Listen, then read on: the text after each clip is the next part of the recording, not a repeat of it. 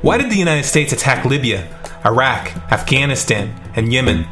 Why are U.S. operatives helping to destabilize Syria? And why is the United States government so intent on taking down Iran, in spite of the fact that Iran has not attacked any country since 1798? And what's next?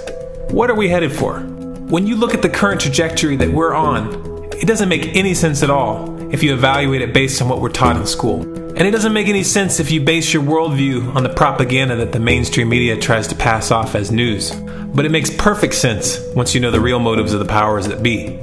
In order to understand those motives, we first have to take a look at history.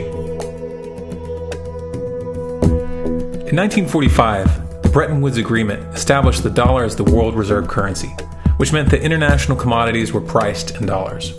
The agreement, which gave the United States a distinct financial advantage, was made under the condition that those dollars would remain redeemable for gold at a consistent rate of $35 per ounce. The United States promised not to print very much money, but this was on the honor system, because the Federal Reserve refused to allow any audits or supervision of its printing presses.